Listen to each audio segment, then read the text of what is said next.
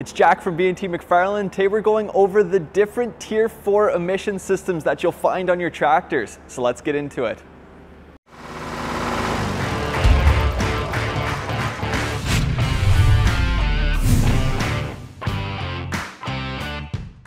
One of the biggest questions we get from our customers when they're shopping around for a tractor is what kind of emission systems are going to be on the tractor from the factory. Whether they've read forums or seen videos of stories where people don't like it or even some nightmare stories of people who have equipment with emissions control on it. So today we're going to kind of debunk some of those stories and go into exactly what these emission systems do for the tractor and what they do for you as an operator.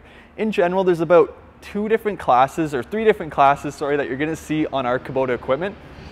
You're gonna see the first class of tractors and equipment that sit below 26 horsepower. So these, these have no emissions equipment. So anything from a 25 horsepower tractor to a 25 horsepower excavator, there's gonna be no DPF system or no DOC or DEF fluid whatsoever. It's just gonna be the engine itself, which is why you're gonna see in Kubota's product lineup, lots and lots of equipment sit below 26 horsepower.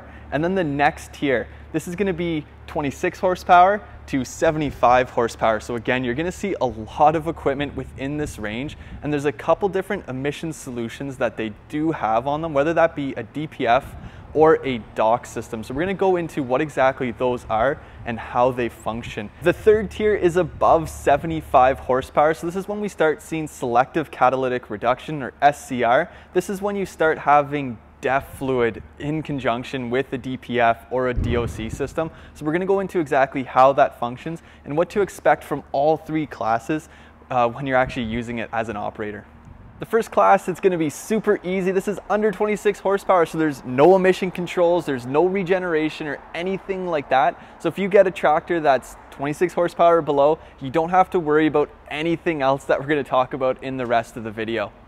The first type of emission control that we're gonna talk about is a DPF. This is a diesel particulate filter and as the name suggests, it's gonna take the particles off of the diesel exhaust and catch it in this filter. So how it's gonna work is it, again, takes the exhaust fumes, passes it through this honeycomb filter screen, and it's gonna catch all the soot and nitrous oxide so that the end result is your exhaust is a lot cleaner coming out of your tractor.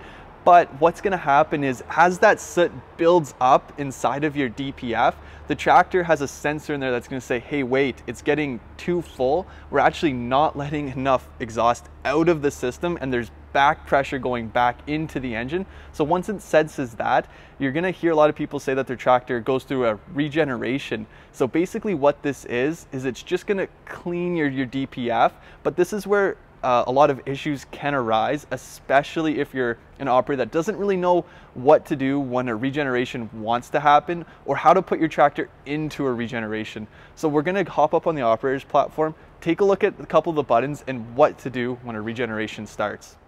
When your tractor is going into a regeneration, you're gonna see a couple of lights that come up on your screen. The first one being a yellow light with an arrow up and when that happens, it's just telling you to increase your engine RPM. So in order to burn off the soot inside of that DPF, the exhaust fumes have to get hot. So what to do, so what you do is just turn up the engine RPMs. That's gonna increase the temperature of the engine, also increasing the temperature of the exhaust in order to burn off the soot. Um, how it does that during a regeneration process is it actually sprays a little bit of diesel fuel into the exhaust fumes, causing almost a little fire inside of the DPF to burn off all that soot.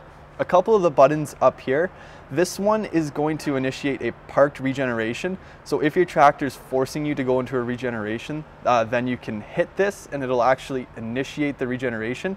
This one here inhibits the regeneration. So this is where a lot of people get into trouble is if they press this too many times, you're actually gonna plug up the DPF to a point where it can't go through regeneration to clean off all the soot built up inside.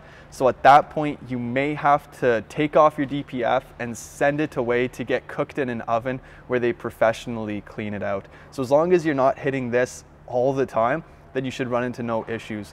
When you might hit this, it's okay to hit it once or twice But if you constantly hit it four or five times over and over again, then that's when you run into issues. But you may hit it, say after you're done snowblowing and you don't wanna wait for it to go into a regeneration just as you parked it, you could hit this and then the next day, whenever you turn on your tractor, it'll wanna go through another one and then you can just let it.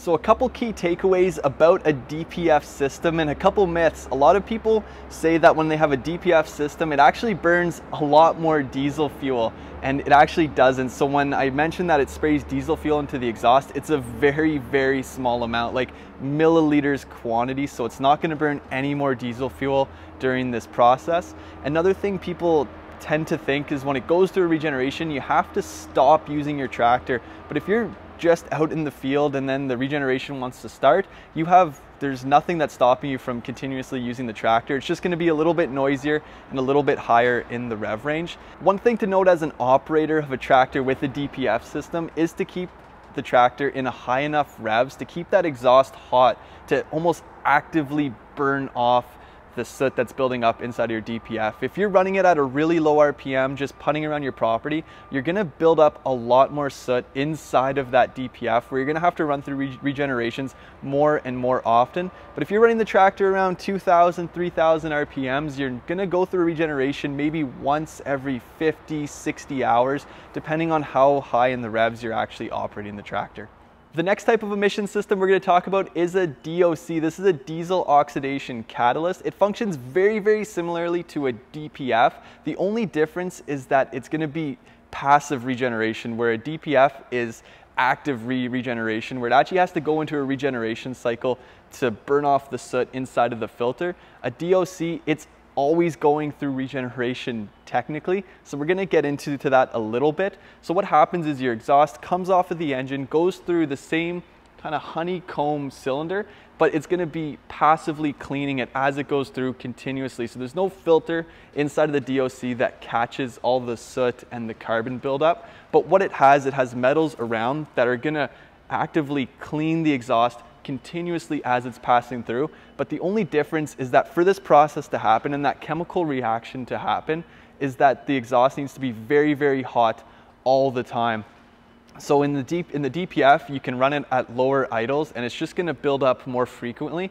But what it's gonna what's gonna happen on a DOC is that the engine's gonna make the exhaust a lot hotter as it's coming through the system, so it's gonna continuously do that. We're gonna see this type of system a lot more on wheel loaders. So for example, our R430 has a DOC system on it, and this is really advantageous for it because on a wheel loader, you're not always gonna be high in the rev range. You could easily just put around your property all day, loading up light, light amounts of material with the wheel loaders. So you're never really high enough in the rev range to warrant using a DPF or be able to use a DPF effectively. So this DOC allows a continuous regeneration process to work, which is really advantageous for equipment that's gonna sit at idle for long amounts of its life.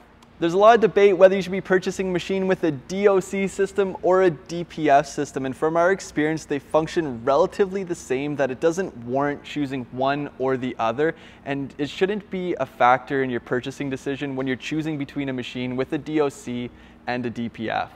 Finally, we're gonna talk about the last class of emission system that you're gonna find on Kubota tractors. This is once you get above 75 horsepower where you start having to use DEF fluid. This is diesel exhaust fluid. So this uses SCR, which is selective catalytic reduction. It's basically a fancy name for that they take DEF fluid and there's a nozzle and it sprays DEF fluid on your exhaust as it's coming out of the engine to clean it a little bit more. So usually SCR and DEF fluid is used in conjunction with DPF systems or DOC systems. On Kubota tractors, you normally see it being used with a DPF. The only thing you have to keep in mind when you're using a machine with DEF fluid is the quality of DEF fluid that you're actually putting into the tractor. A lot of the time, DEF fluid nowadays has expiration dates on it and you definitely do not want to put expired DEF fluid inside of your tractor. It's made of urea is the main component and if you have old or not a high quality of DEF fluid, the urea can actually crystallize on the nozzle and completely plug up your entire emission system. And you also have to get DEF fluid that's rated for cold enough weather. So up here in Canada, it gets down to about minus 30 degrees Celsius. So you have to have a really high quality DEF fluid that won't freeze or won't freeze on the nozzle as it's being sprayed into the exhaust fumes. That pretty much wraps up today's video, so I hope that cleared the air of what a regeneration system is and what it means for you as an operator. At the end of the day, it's not gonna change that much in how the tractor actually functions.